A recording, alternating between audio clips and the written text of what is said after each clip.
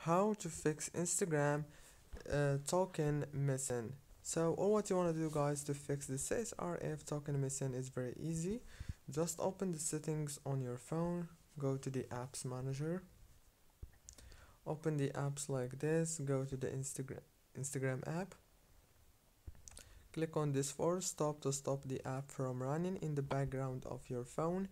And then go down here you will find the internal storage option click on clear data and clear cache. Go back again. Open the data usage. Make sure to enable all the options right here. And then go back again. Open the power usage details and then disable the power consumption alert.